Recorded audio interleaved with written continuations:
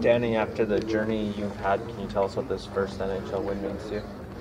Yeah, it's nice to get rewarded, but again, like I thought I played better in the first game where I got beat four nothing. Like I thought I made some mistakes tonight. Like I didn't control my rebounds very well tonight. Uh, the guys in front of me did a great job of clearing that out, and uh, you know I turned the puck over too again today. But uh, you know again the guys were right there for me, so a lot of credit has to go to them. Is it going to be something that maybe takes a while to look back and, and kind of realize what it maybe means to you then?